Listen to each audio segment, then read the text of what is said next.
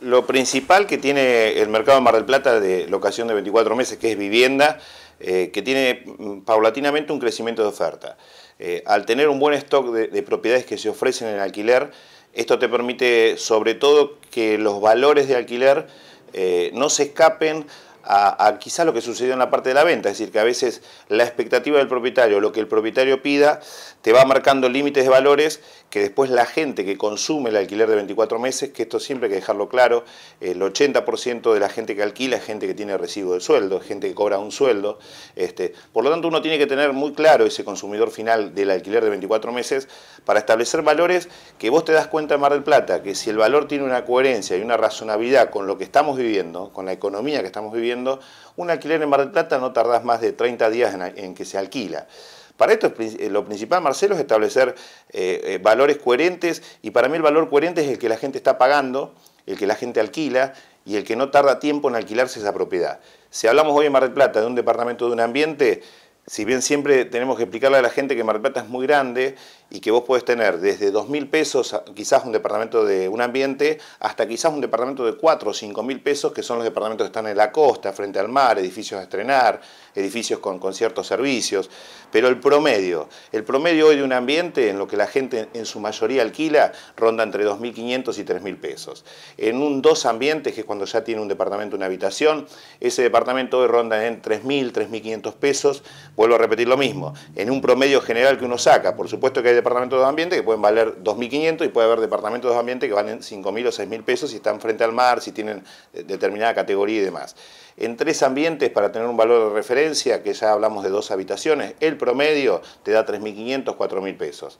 La casa o que busca mucho el marplatense, la familia, este, la casa típica, ¿no? dos habitaciones, el garage, algo de patio, de parque, de 5 a 6 mil pesos entre esa franja hacia arriba, eh, vos tenés eh, propiedades que se están alquilando en este momento y esos valores de referencia que estamos dando son los valores en los cuales se consigue rápidamente una locación. Para esto lo principal, Marcelo, es tener en cuenta que la gente cobra un recibo de sueldo. Y yo siempre digo que para que uno no tenga problema en la locación, hay que hacer una regla de 70-30.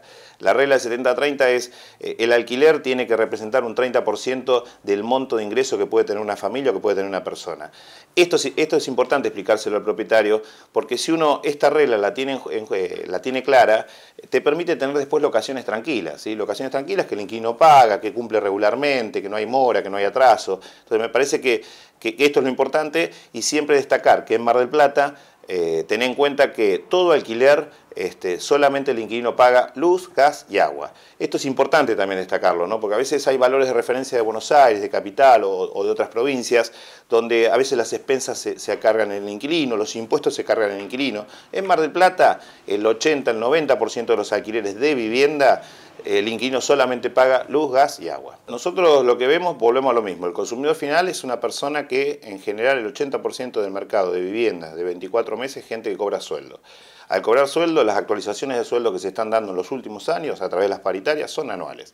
Esto significa que, a diferencia también de Capital Federal, que sobre todo a veces Capital Federal hace informes que nosotros también los recibimos acá, y te hablan de ajustes semestrales, te hablan de ajustes hoy cuatrimestrales, yo lo que le explico acá al propietario de Mar del Plata, que eh, el que quiere imponer esto, que se impone capital que se maneja de otro eh, capital es otro mundo.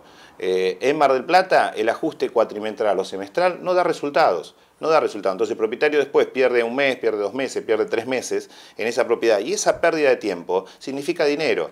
En Mar del Plata volvemos a lo mismo, en el porcentaje de 80-90% de los alquileres de viviendas se están ajustando anualmente. Y hoy el ajuste anual te da entre un 25 y un 30, Quizás una propiedad, vuelvo a repetir lo mismo, en la costa, frente al mar, de categoría, puede actualizarse a lo mejor un poco más, un 35%, pero en general el promedio hoy de actualización anual son 25-30%.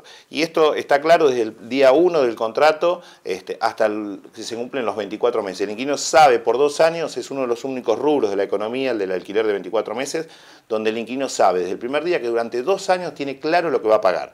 Eh, y después tenemos lo de siempre. Hoy estás viendo que la gran mayoría de los contratos que se terminan, que finalizan por el plazo del contrato, casi todos, 90% también, se están prorrogando y se prorrogan por un año y la actualización es la misma, es alrededor de un 30%. Entonces son valores coherentes que la gente, en base a los aumentos que también ha tenido en sus sueldos, en sus ingresos, lo está pagando y está tranquila y no tiene que andar buscando. Y después volvemos al inicio de la nota, en decir, Mar del Plata sigue recibiendo stock de propiedades en alquiler.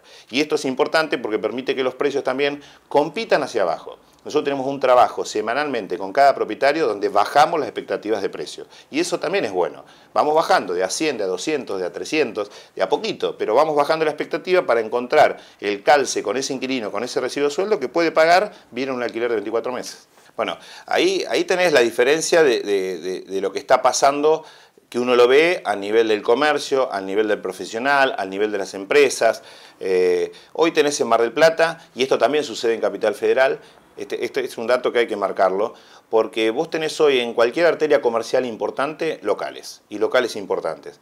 Eh, por lo tanto, yo creo que la parte comercial va a ser la que, la que va a continuar más golpeada, sobre todo este año, este año 2015, el año que viene también, 2016. Acá hay que darle un consejo al propietario. Eh, yo creo que hay una etapa, el alquiler comercial son tres años, ¿sí? el, plazo, el plazo mínimo de locación.